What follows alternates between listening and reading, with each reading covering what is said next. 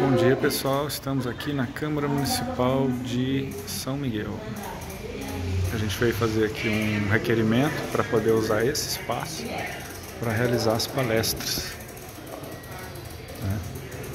Então exatamente aqui a gente vai fazer as palestras de saúde e sobre depressão e ansiedade. Na domingo e na quarta-feira.